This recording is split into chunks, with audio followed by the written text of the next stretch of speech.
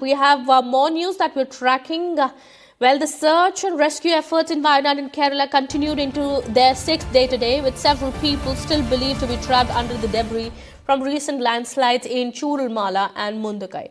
Wayanad District Collector also informed that the operation was progressing vigorously with more than uh, 1300 personnel deployed for today's efforts.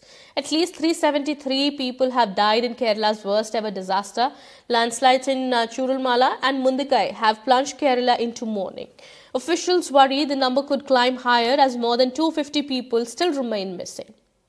Well, uh, Kerala Minister A.K. Saseendran has informed that uh, the state government uh, and the authorities uh, uh, are doing as much as possible to assist in the rescue efforts. They, he is also informed that the authorities have divided the entire area into six zones and uh, these are being supervised by a team that consists of 40 members.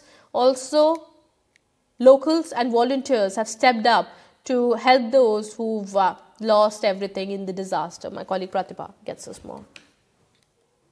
There are several thousands of people who are gathered here who are uh, trying to see if they could uh, find details about the missing persons.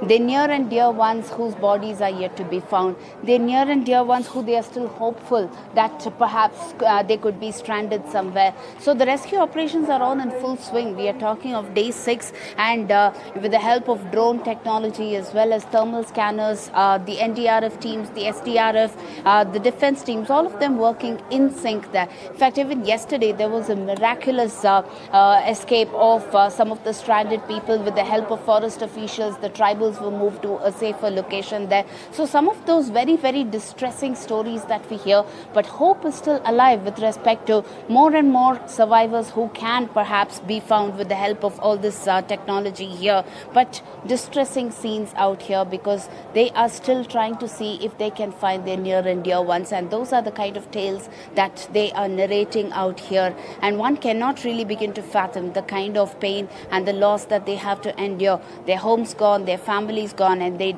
have absolutely no idea how to restart their lives. Back to you.